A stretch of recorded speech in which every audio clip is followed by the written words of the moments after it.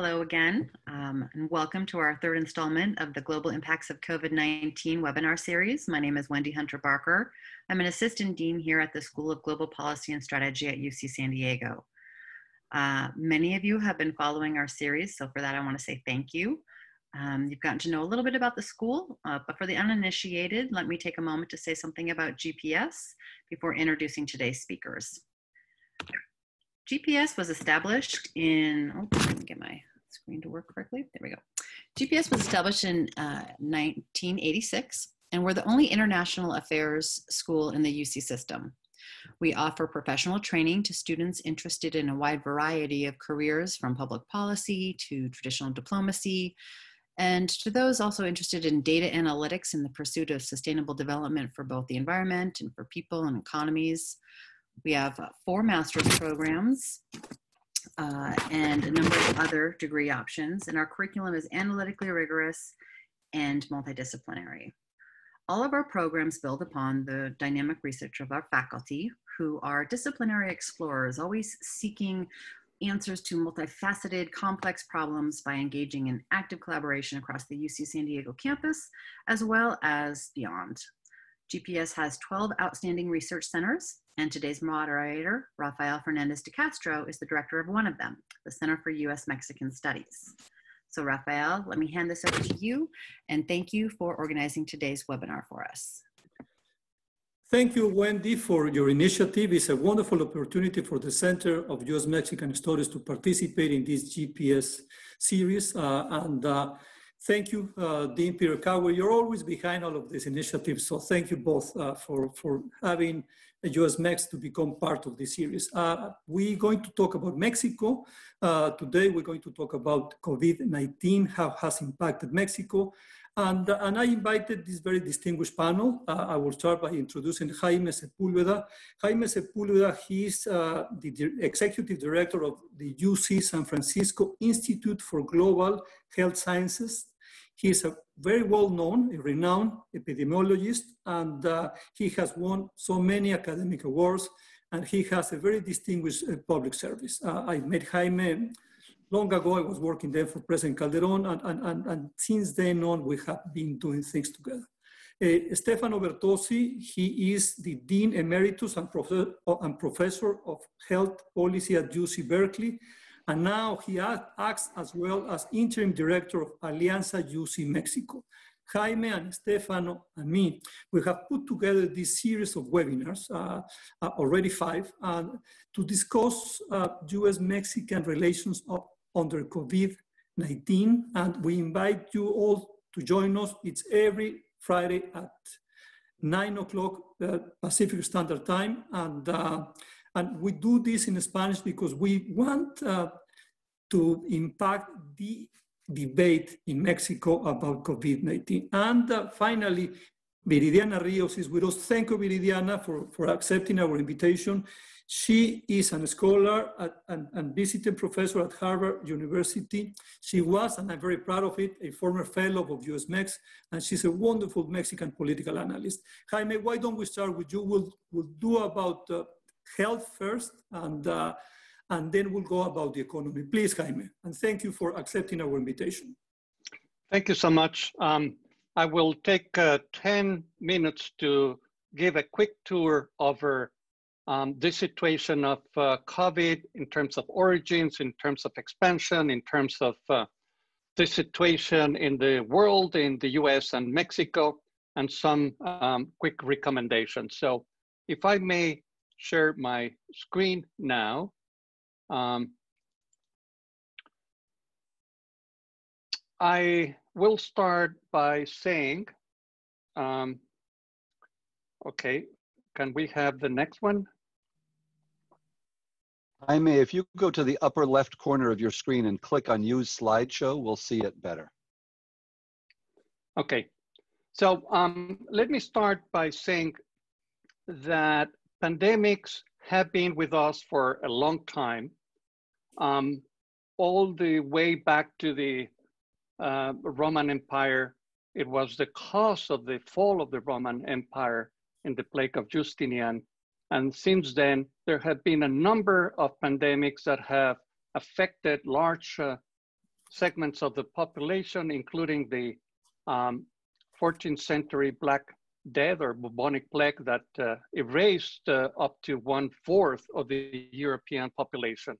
The Spanish flu, of course, uh, which is a wrong denomination, it was not um, originated in Spain, by the way, um, cost uh, about 50 million deaths. And now, of course, we're all aware with the current epidemic of HIV AIDS and uh, this novel coronavirus that uh, is going to be as bad as some of the previous uh, pandemics. And Jaime, um, just a warning, this is not the last one. Jaime, Yes. um, if you go to the upper left corner of your screen and click Use Slideshow, we can see your slides much better.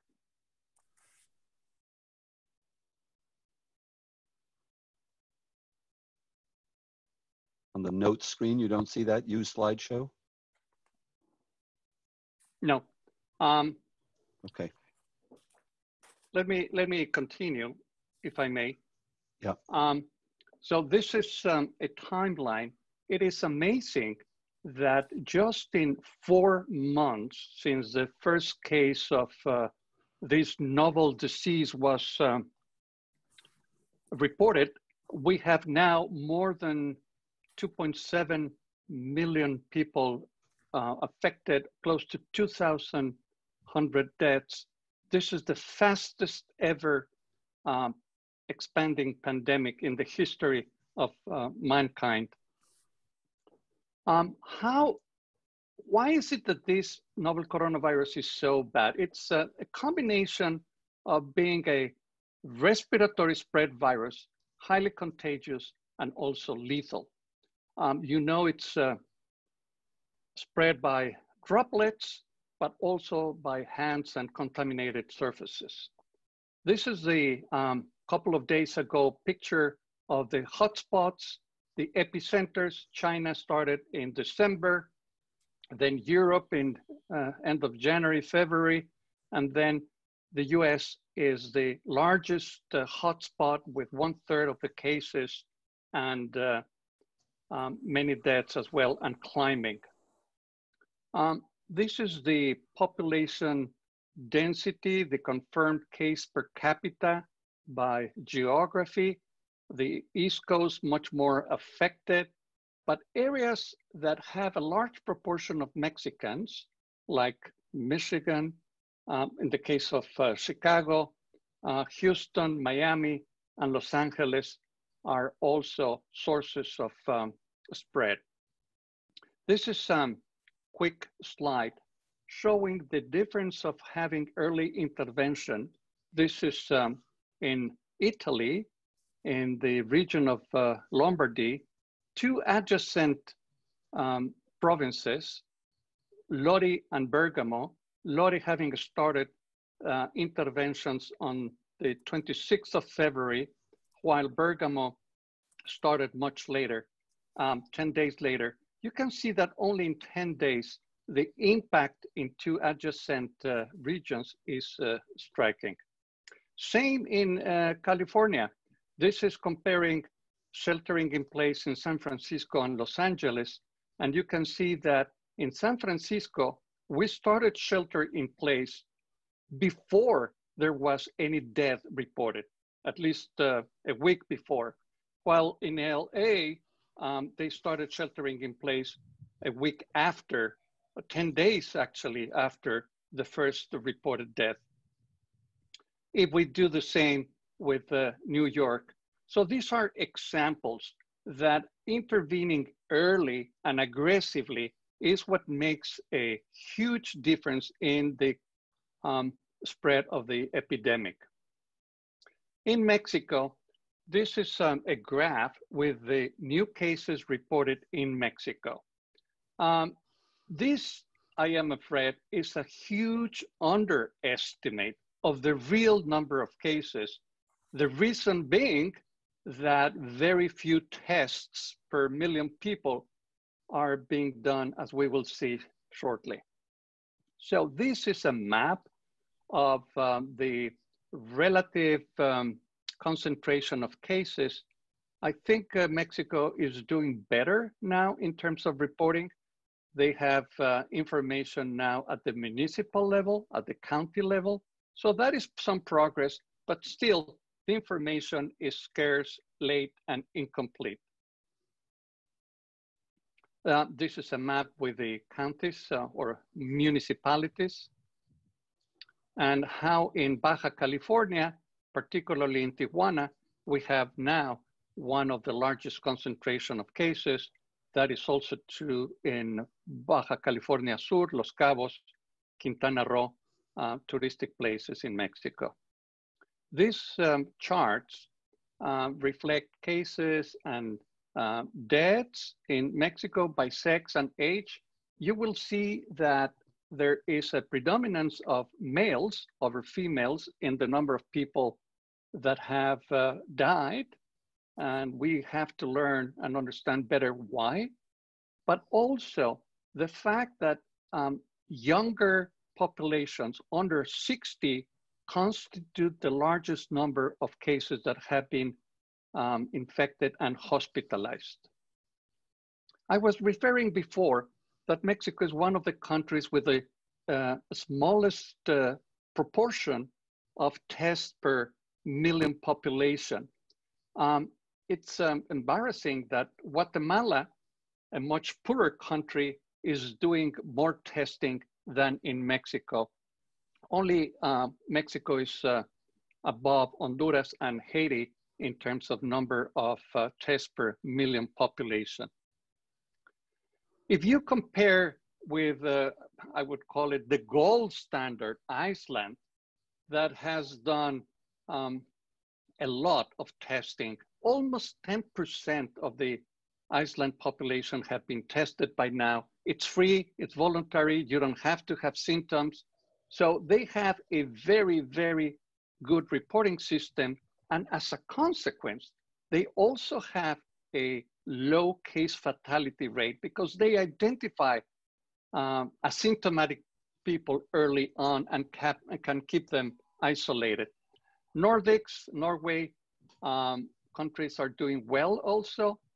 Less so in the United States. It was embarrassingly how unprepared uh, the US was. It's catching up, but still compared to European countries is way behind, let alone um, Asian countries. So Mexico is embarrassingly low in number of uh, tests performed, and there, therefore the, the magnitude of the epidemic in Mexico is very underestimated. Just compare here per thousand people, um, number of uh, tests performed in Italy, in the US, South Korea, against Mexico. This is the uh, time for duplication of cases. This is an indicator of how rapidly um, the deaths are mounting. So compared to other countries, uh, the time for duplication of uh, deaths is 6.6 um, days. Um, uh, I'm sorry, 5.7. It's the green one. Sorry, sorry, 5.7 in Mexico less than six days. Um, this is the case fatality. Why is it that Italy has such a huge case fatality? It has to do with the aging population. Italy and Japan have the largest proportion of aging population in the world. And in Italy, uh, most of the deaths have occurred in people over 65. Why is it that Mexico has such a high fatality rate? it has to do with the comorbidities, meaning lots of obesity and diabetes in Mexican adults, which are predisposing factors for fatality. How are we doing in vaccines? Some good news I wanted to bring. Um, 86 vaccines are now in trials in China, in the US, and in Europe. There are various approaches for recombinant vaccines, for subunit vaccines, for RNA vaccines. One of these will be successful um, sometime in the future, and I hope we will have an effective and safe vaccine probably in the next 12 to 18 months. Something about health equity, you have seen in the newspapers, in editorials, the fact that Hispanics and uh, also Afro-Americans are disproportionately affected uh, in terms of number of cases, but also and particularly in number of deaths. Why is that? Well, Black and Hispanics have social determinants, housing crowding, um, poverty, um, and then the comorbidities, hypertension, diabetes, obesity, that make them more susceptible to a severe um, disease or even death. So this is an issue of health equity that we need to pay more attention to. When and how we'll be back to the kind of life that we aspire to? Well, I'm sorry, but we need to first ensure that transmission will be low in terms of number of cases, hospital admissions.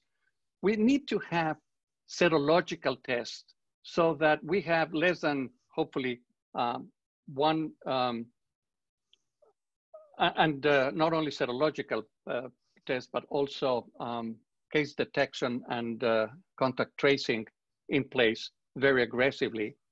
Um, testing should be free and made available on demand eventually. Um, I already talked to aggressive contact tracing, uh, of course, having all of the um, supplies in hospitals, having our doctors and nurses well protected with PPEs, uh, personal protection equipment. And then we need to be ready that this is going to be an intermittent um, thing where we will need to go back to confinement. There is going to be a second wave in the fall. So how to open the economy, where to open the economy is something that will require uh, very evidence-based information um, to go uh, forward. So I will just finish with a little humor. This is the marquise of uh, a double future in the, in the movies coming, the death of the coronavirus plus the end of the current president. So I'll stop here and turn it over to you. Thank you, Jaime. A wonderful presentation. You, you, you cover all, uh, all, a lot. Thank you. Uh, Stefano, would you like to make a comment, please? Sure, Rafael. Um, thank you very much. I um, will just share my screen. Um, I want to make just a quick comment. Um, I appreciate um, Jaime's last slide because it's my local movie theater. And, um, and uh, it reflects the, uh, the views of much of the East Bay. So uh, that's the same slide. And I just want to show th this slide. You know, Jaime mentioned at the in his last slide about the way forward, what we need to do to get back to life the way we would like it to be. Now, we have a situation where we didn't learn from history. Um, I think that one of the ironically tragic things for the United States and for Mexico is that we were spared the SARS epidemic. Because if you look at what's happened globally, the best predictor of the countries that managed to quickly control the COVID uh, pandemic are those that had previous experience with SARS. And um, so you see a rapid response in China. I mean, imagine if Beijing and Shanghai and so many other cities in China had gone the way of New York. Um, but they didn't because China acted very aggressively to shut down the epidemic in Wuhan. South Korea, um, Seoul, South Korea is larger than New York. Um, they had a blip if you compare it to the epidemic in the United States. If you think about it, South Korea has about 250 deaths from COVID. They're one sixth the size of the US. I mean, just imagine what the US would look like if we had been able to respond like South Korea did. So we, we didn't. We didn't learn the lessons of SARS. We didn't act um, decisively. And Mexico essentially um, followed the US's path. Um, it didn't ramp up testing. It didn't effectively isolate um, uh, people with the infection. It didn't effectively do contact tracing and quarantining. So the question is, what's the way forward?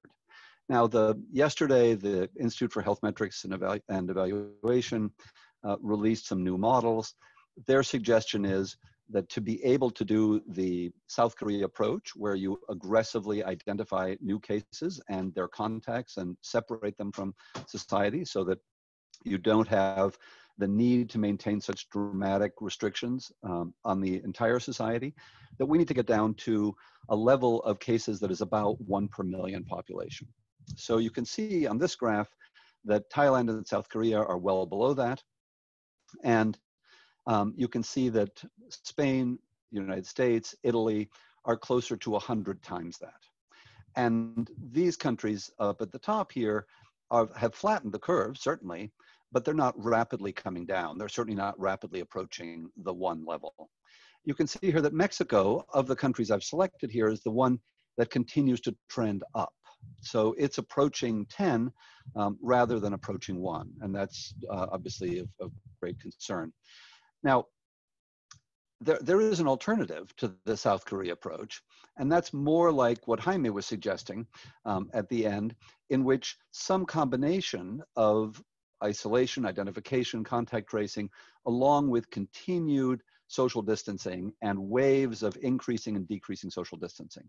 So I think that both Mexico and the United States are going to have to figure out do they really want to shut this epidemic down and get it down to a level down here somewhere? and then be able to relax most of social distancing because we're going to have the ability to control the mini outbreaks that will happen from imported cases? Or are we going to be in a situation where we're willing to accept an ongoing epidemic, not so much that it overwhelms the hospitals, but such that we will continue to have lots of disease and death until a vaccine or uh, drugs are identified. Now, I suppose that the only thing I'm a little bit more pessimistic about than Jaime was is the timeline for a vaccine. I hope he's right, and he might be right.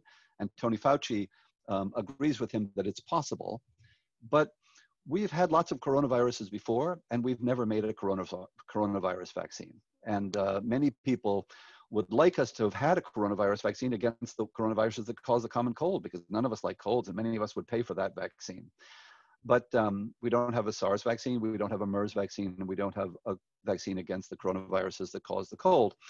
So I'm always, and I'm a veteran of the HIV wars, so I remember when the Secretary of Health and Human Services and Bob Gallo stood up and said that we would, within um, uh, you know a couple years at, at most, we'd have an HIV vaccine, and that was in the late 80s. And of course, we still don't have one. So I'm hopeful, like Jaime is, but I'm not confident that we will get there with a vaccine. But the other thing, if we think about HIV, is that we've come a long way since the late 80s with respect to drugs to treat viral infections. We didn't used to have those. The first one was acyclovir that could treat herpes, genital or, or labial herpes. Um, and now, of course, we can give an almost normal life to people with HIV infection because we've made such great progress with uh, treatment of viral diseases. So I'm, I'm um, very hopeful that we will find effective drugs against uh, COVID. And the other thing that I think is hopeful in that regard is that in the past, in fact, all the way back to the Spanish flu, people realized that they could use plasma, meaning the part of your blood that is the liquid part, not the red blood cell and white cell part, but they could use the plasma from people who'd previously been infected and use that to treat people or protect people who um, were at risk of infection or who had early infection because the antibodies um, that the person who's been infected transfer to the new person. Now, we're just starting clinical trials with that in COVID, but I'm optimistic because it has been used successfully with SARS, other um, coronavirus infections in the past. I'm optimistic that that may be very helpful. And if we can not only do that, but actually identify the specific antibodies that work well, then we can manufacture monoclonal antibodies and use those both to protect people who are at great risk, like my mother at 89, and also to treat people early on in their infection. And with that, um, I'll wrap up and um, stop my screen share and give it back to you, Rafael. Thank you, thank you, Stefano. Uh, now we'll go to the political part and to, uh, uh and to try to understand the Mexican uh, economic response I will say that COVID-19 will divide world leaders in two categories. On the one hand, you have those who have uh, reacted uh, fast and, and they were able to understand the potential of the pandemic early on. And those, as Andres Manuel López Obrador, as Donald Trump, as Jair Bolsonaro from Brazil, that they've been slow and somewhat nationalistic in their response. Viridiana Rios, could you give us a, could you give us a sense of what what has been the response to try to uh, to help the Mexican economy uh, in this uh, emergency, and why so Andres Manuel López Obrador has been unable really to come up with a, with a strong economic response. Thank you for joining us, Viridiana. Thank you, Rafael. Uh, yeah, well, um, I'm going to divide my talk in two sections. So first I wanna talk to you about the economic emergency plan, what is actually being done and what is not being done. And then I wanna talk about precisely what you asked Rafael, which is why are we seeing this reaction from the Mexican government and not a more generous economic program that could actually help most of the population. So let, let me start with what I call describing what I call as the the plan, there is no plan uh, of the Mexican government. The economic plan, there is no plan of the Mexican government. So what's the Mexican government doing? They are doing basically two things. They are doing austerity and they are providing microcredits. So they are, the logic is that they are gonna reduce uh, expenditure in some areas of the, of the government in order to increase the number of microcredits that they can provide to small businesses. So how is this austerity being implemented? Well, a um, couple things. One is they are basically shutting down half of the government. Mexico has 10 different ministries, sorry, 19 different ministries. They are gonna close nine of them uh, until January of 2011. Most of the people working inside these ministries are gonna go home. They are gonna keep being paid, uh, but all of the operations of half of the Mexican government are going to basically be shut down. The second one is they are also going to shut down a, a, large amount of government programs. Basically, the only ones that are going to keep in place are those programs that President of uh, Mexican President López Obrador promised during his campaign in 2018. The third one is that they are going to reduce the salaries of what they call the elite bureaucracy. I call it the elite bureaucracy, quote unquote, because um, this is not an elite bureaucracy, but most of them belong to the middle class. Salaries are going to be go down, go down in between 25 and 50 percent. Um, how much money these bureaucrats make? Well, uh, cuts are going to start on everybody that earns more than $12,000 per year, right? So this is not wealthy people. This is not the elite bureaucracy. It's just a large cut on government salaries. All of this austerity um, is going to use to do two things. All the money that is saved on this austerity is going to use to do two things. One is to keep the, the Mexican government, whatever is left of the Mexican government, working uh, and the second one is to increase the number of microcredits. About the first one, why do they need to keep the Mexican government going? Well, as you know, uh, oil prices have basically um, gone to zero uh, over the last weeks. So that means that even to just keep the regular government exp expenditures of Mexico, they would need to get money from other sources. Mexico is still a government that heavily depends on oil to uh, pay for their expenses. So let me move into microcredits. What are these microcredits about? Well, it's a, it's a program of giving 3 million credits of $1,000 to um, businesses that are either formal or informal. So it's 3 million businesses that are gonna be benefit. Uh, there is a pretty significant interest rate. The interest rate is 6%, uh, which is significant for most business. Um, and, this, and, and these credits are gonna supposedly start being given um, this week and until they are basically um, completely delivered. Now, um, what is the Mexican government not doing? I, I, wish I could see your faces because after I was preparing for this talk, I was like, oh my God, this is just a plan like the F, the IMF would, you know, would uh, request in the 80s. And, and, and that's, a, that's pretty much it, right? It's a very heavy austerity plan. So what is the Mexican government not doing? So they are not giving cash transfers to the poor. They say they are doing that, but in reality, there is no more cash transfers than regular. Regularly, the Mexican government gives cash transfers to 22 million people. Uh, that's exactly the same number of people that are going to get trans cash transfers during the coronavirus. To put this number on perspective, um, Mexico has 52 million people that are poor, right? So not even half of the poor population are gonna get a cash transfer. The Mexican government is not willing to entertain any form of bailout for large corporations or tax cuts. And they are also not giving any support that is not a credit uh, for informal businesses or for small businesses. The total size of the package, uh, the government says that is 26 billion pesos.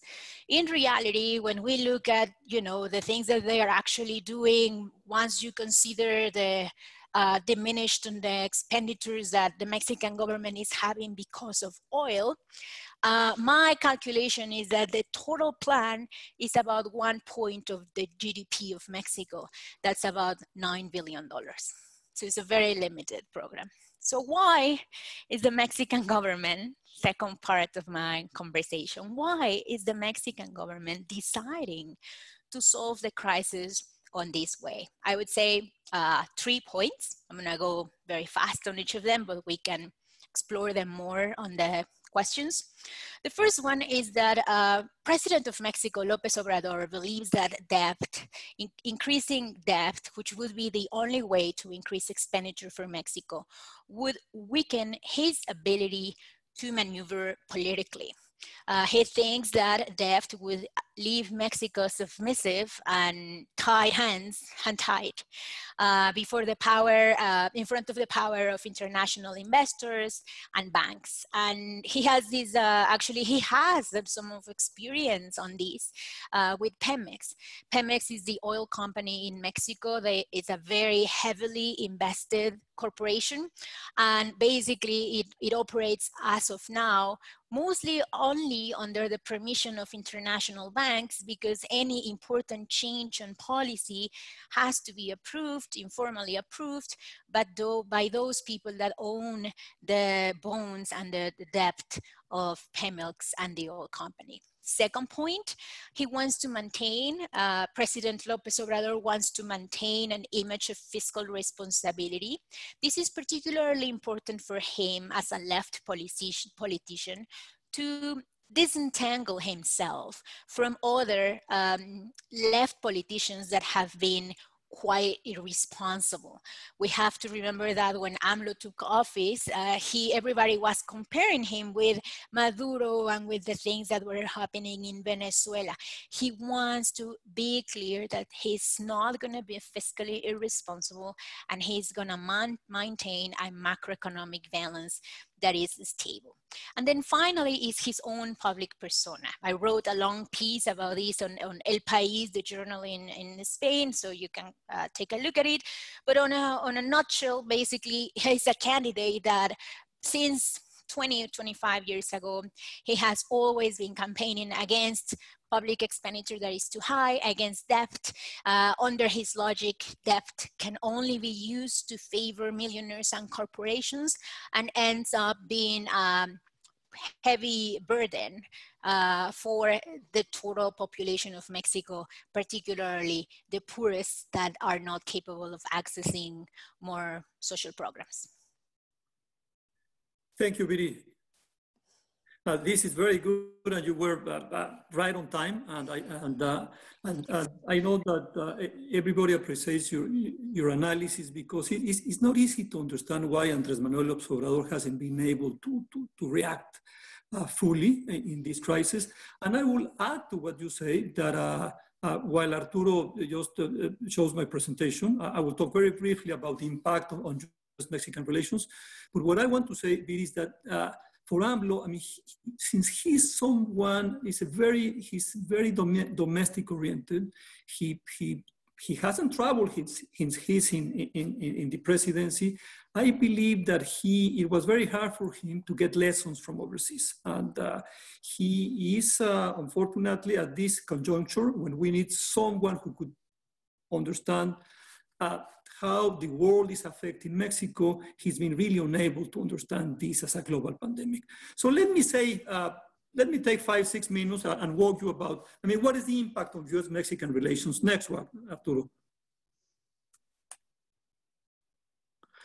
Uh, you know, it's very telling that Andres Manuel López Obrador and AMLO, they continue to, I mean, I will say they continue to have a honeymoon. Uh, they exchange letters, they talk to each other. Actually, I was very surprised.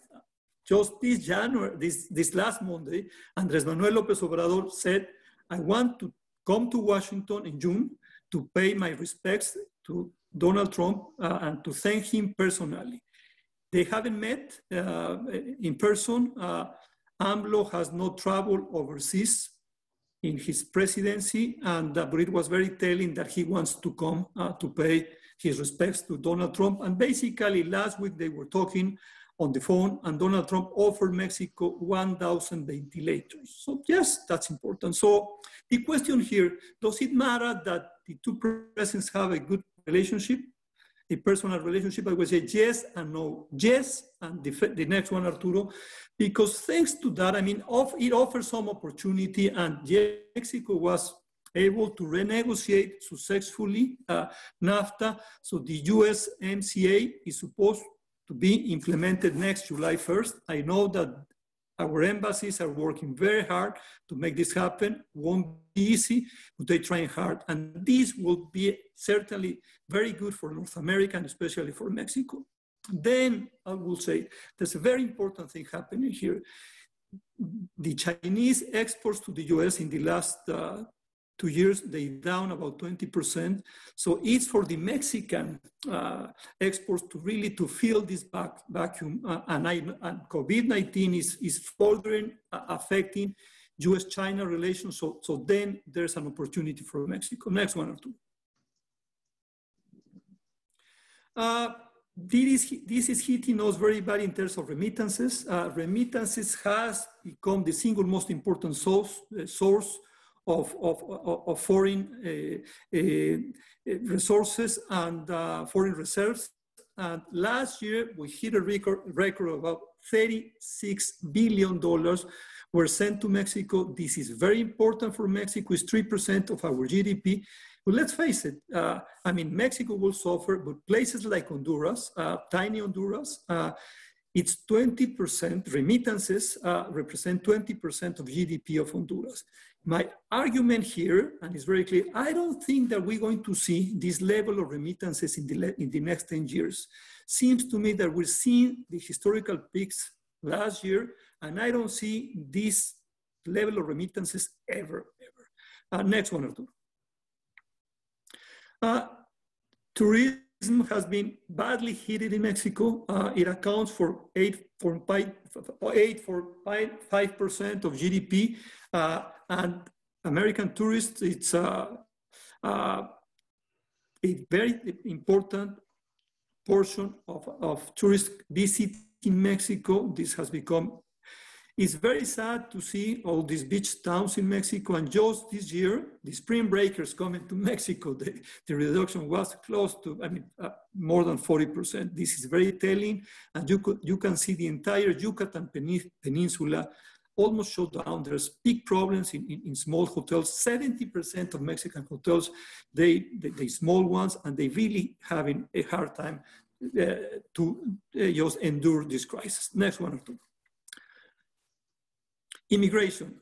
Here is, there's not a, here there's not a honeymoon between AMLO and Lopez uh, AMLO and Trump. They basically do not talk about immigration issues, uh, although Mexico has been very helpful to the US because through this agreement, uh, migration protection protocols, 62,000 asylum seekers from Central America has been sent back to Mexican border cities to wait there.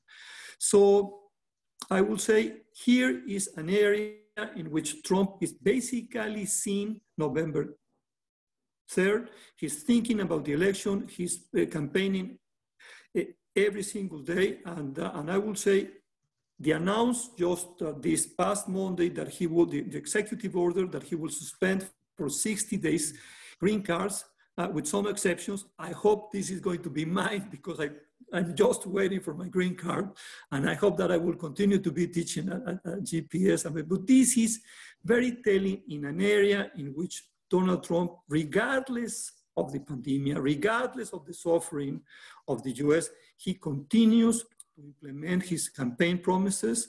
And, and I will say, and I will finish with this, uh, he's made truly an I mean, COVID-19 is an excuse for him to completely seal the border, especially to asylum seekers. And obviously, and if you could show the next one, Arturo, uh, well, deportations continue and COVID-19 spread.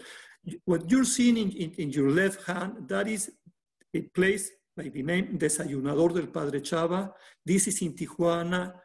Every single day, 1,500 people comes there to have breakfast. They trying very hard. Lately, it's very difficult to feed all of them. Most of them migrants who have been deported back to Mexico, Mexicans and Central Americans, because most of, of, of, of the voluntary work and, and, most of the, of the food was coming from California. Now we, we who live in California, we cannot go down to Tijuana, so they having a very hard time. Let me stop here and go to this Q&A. I will, uh, uh, I see quite a few questions here, and uh, Stefano, you've been looking at the questions. Uh, uh, could you help, I mean, would you and Jaime will answer some of the questions that you already read in, in the Q&A? Um, yes, and I'm I've been answering the ones that I can um, uh, written, so people can also look in the answered questions. Um, uh, there are a few there for Jaime specifically.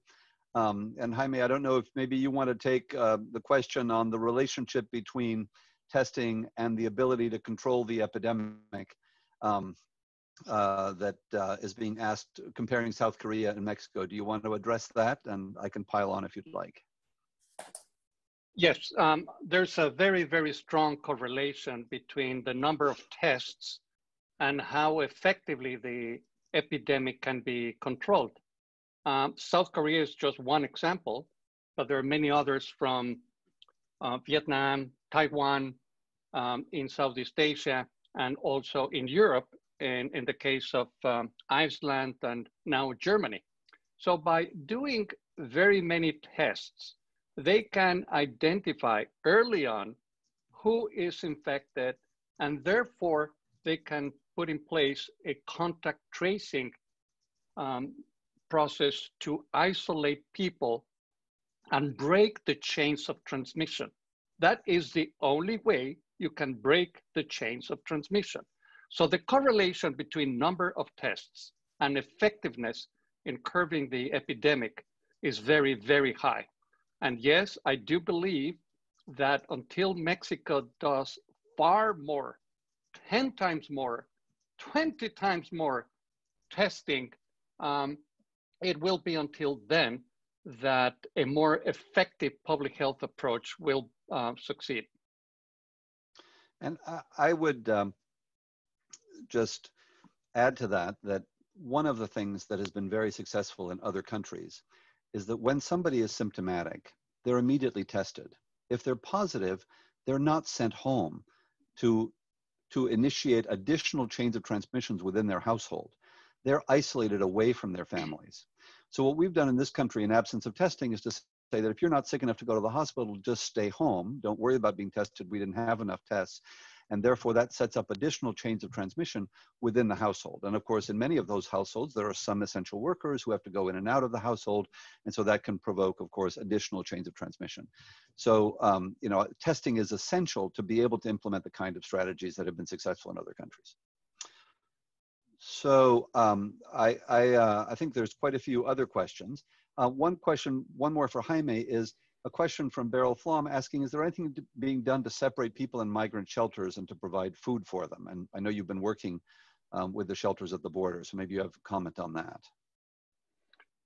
Thank you. Um, yes, um, actually, Rafael and I have been visiting shelters in the border, and uh, we have seen that both in detention centers and in uh, refugee camps, um, there is um, a level of uh, crowding that is very concerning. I was able to see um, chicken pox in practically every single camp I visited, both in Chiapas and also at the uh, US-Mexico border. So um, to my knowledge, there has been done nothing to effectively help migrants in terms of uh, food, in terms of better sheltering, in terms of uh, hygienic, hygienic uh, measures.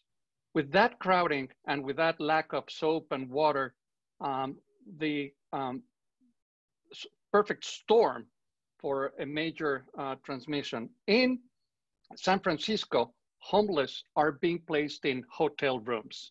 There's a, huge capacity for hotel rooms. So I wonder if that is a policy that could be applied in Mexico now that there are so many empty hotel rooms to help uh, migrants that are living in awful conditions to have uh, better sheltering. If I could add to that, I would say uh, that there's, I mean, the situation in the US-Mexico border, especially the Mexican side of the border, is very uneven. In Tijuana, I would say civil society, I mean, it's very strong uh, and they have uh, very good shelters. And the shelters, they decided early on, like a month ago, to, to close down at, at middle capacity. For example, Casa Migrante, which is the oldest shelter ever in Mexico 32 years ago, this is the first time in 32 years that they closed at half capacity. So they decided we will only keep here 52 people. But in some places like Matamoros, for example, there's a camp that is the east side of the US-Mexico border. There's a camp with more than 2,000 people. And of course, we're getting a lot of spread there. So this is very uneven. This is a very difficult situation.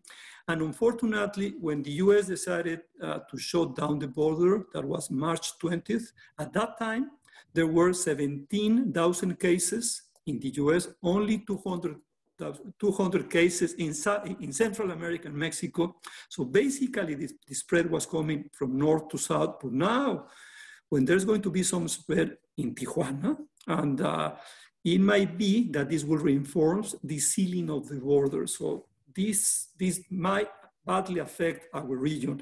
There's a question there about why Governor Bonilla, if you allow me, uh, Stefano, and then I will give the floor to Viridiana Rios, why Governor Bonilla from Baja California decided to criticize the, the federal government because he said that they were late reporting the, the COVID cases. Well, I believe that he knows, he has realized that there's going to be a lot of suffering in Baja California, in Tijuana, in Mexicali, and he was just to share the blame uh, with the federal authorities. I mean, that's my explanation. I mean, he's worried. He knows that it's uh, that COVID is badly affecting Tijuana, badly affecting his state, and it's not only about uh, uh about uh, getting sick, but it's about hunger. Uh, that is, to me, the single most important threat in Baja California, that people will become hungry. If there's hungry people in the US, if there's so many food banks in the US, and, and you have said that, Stefano, I believe that that could be the single most important problem there. Uh, Viri, there were quite a few questions for you. Could you, would you like to answer some of them? Yeah, sure. Thank you. Um, so uh, most of them, I would say, um, concentrate on asking first, uh, what is AMLO doing for businesses? And second, whether this is going to work. So on the first one, I would say AMLO is doing very little. Actually, he's doing mostly nothing, just the microcredits that I talk about. Is he going to change this on, on the longer term or on the medium term? Maybe. Uh, it's extremely unsure whether he, he may. Uh, this would be about the time for him to do it, and we, we're not seeing any change on the strategy. Is this going to work? I don't think so. Uh, only providing cash transfers to less than half of the poor population and not supporting business is going to hit Mexico very hard. Some studies by CEI, Centro de Estudios Espinosa Yglesias, are saying that the number of poor people may increase on 20 million. So for a country with 52 million, an increase on 20 million would be a drastic increase. So um, we're actually very worried. I think this is an ideological position of uh, President Lopez Obrador, and, and, and it's unclear whether he may change it. Yesterday, uh, if, my, if I might add, uh, we had a, a, a, very important opportunity uh, uh, uh because US Mex, our center, we, we had a webinar with the diputados, with the federal representatives from the party of Morena, the party in power, more than half of the time into our, into our webinar. So we've talked to them about the economic situation in Mexico, about uh, especially lessons from Central America, Latin America. And I, will, and I will say that they were uh, very interested in, in trying to understand. Uh, I believe that the, the, the Morena, the, the party in power, it is divided. Some of them are behind Lopez Obrador, but the other half, Viri, and I don't know what is your take on this, they, they really thinking that, the, that Mexico should have a, a, a, a, more pronounced intervention, both in, in healthcare and uh, on the economy, because I mean, I mean, they, they looking at what's happening in the rest of the world. It's been, for example, very sad what we have seen in Ecuador, in Guayaquil, people dying in the streets. And uh, so I believe that, uh, that there's a, a good portion of the Mexican uh, population, of the political class, they becoming aware, and unfortunately, the clock is ticking because Andres Manuel López Obrador will have, I would say, another 10 days or so to do something meaningful uh, for the economic recovery. Otherwise, the suffering is going to be very, very harsh. Uh, Stefano, Jaime, uh, what, there's plenty of questions there. We have another eight minutes or so. Would you like to, to take another two questions, Stefano and Jaime? And then we'll come back to, to Viri. Um, there's been, um, I, am just going through the questions now. Um, so one of the questions from uh, Magdalena Caral is why has Mexico been so reluctant to do testing? Is it the cost? Jaime, do you want to ad address that? Um, that might be one of the reasons, um, indeed. Um, I believe wholesale cost per PCR are about $15. So it's not a small um, amount for a, a, relatively poor country. But um, we have seen other countries in Latin America doing far more testing than, than Mexico. So cost, I think, is an impediment.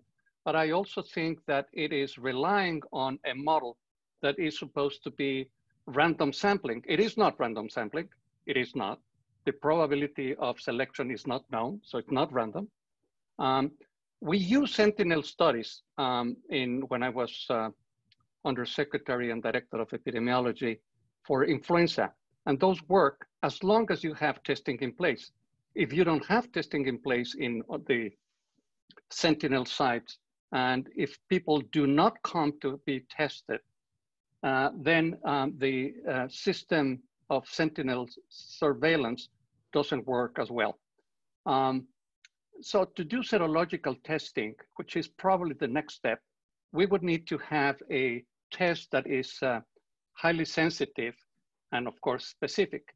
The ones that are now in the market are giving false uh, negatives. So it is not reliable yet to use serological tests, but I hope that in about uh, a month from now, we will have saliva tests that you can perform at home send them by mail, and therefore uh, lower the risk of going to a hospital or a clinic to have a nasal swab where you can get exposed, where you can expose health workers. So I'm confident that uh, saliva tests might be cheaper and performed at home, but that might have been so far an impediment to have more testing in Mexico. And I'll also just mention that I think that we have seen here a global failure of the um, of the global systems. So you know what you saw in South Korea was that after the epidemic was discovered in Wuhan, the government sat down with local test producers to um, pressure them uh, or collaborate with them to rapidly scale up production of uh, effective tests. That didn't happen globally. So what you, you know, I, I, I, think what you saw was many different actors in Mexico trying to negotiate with different global producers, um, bidding wars with richer countries, um, many many companies not having the supply even if they weren't unfairly jacking up the prices they just couldn't meet the supply. You had san francisco which couldn't do testing because it didn't have enough swabs. You had other places that couldn't do testing because they didn't have the reagents to extract the rna so they could do the testing from the samples. All kinds of really unfortunate supply chain problems that in a in a in a more perfect world and hopefully for the next pandemic we'll have a global system that enables a response like South Korea, but at a global level. Viridiana, there's uh, some estimates that the Mexican economy could uh, uh, even 10%.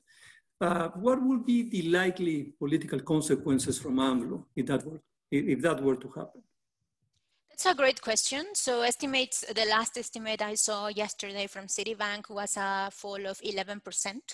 Uh, to put this in perspective, during the crisis, the financial crisis of 2008 and 2009, it was 7%. So it will be almost double. Um, I'm not sure how this may affect AMLO. I'm sure that this is going to reduce his popularity. It has already done it.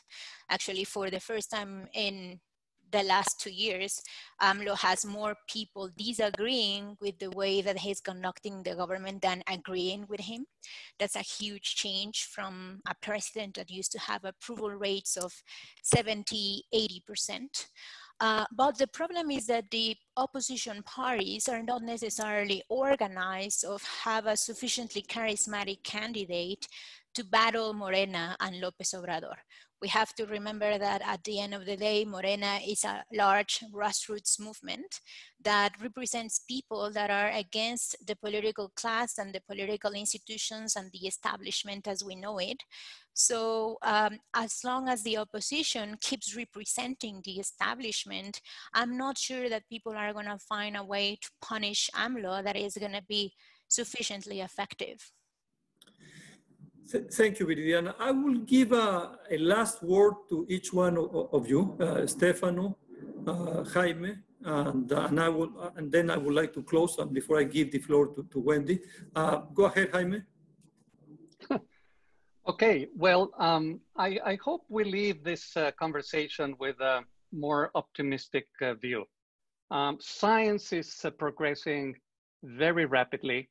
Um, we do have that within a week, the virus was isolated, it was uh, sequenced and a, a test uh, developed.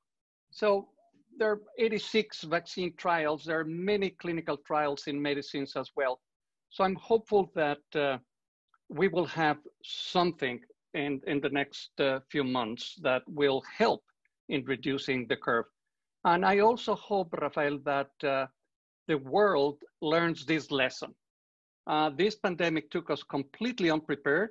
And I hope that since there will be new pandemics coming, that we have a different uh, attitude to science and more support and the social norms that will change, including handshaking. Uh, so it will be a different world. Stefano. I uh, agree with Jaime. I, I am optimistic. And I would just say, since he talked about the biological optimism, I'll say something about the social optimism. Rosa Vivian Fernandez just uh, messaged me separately from the Q&A. She runs a, a, federally qualified health center in the Salinas Valley.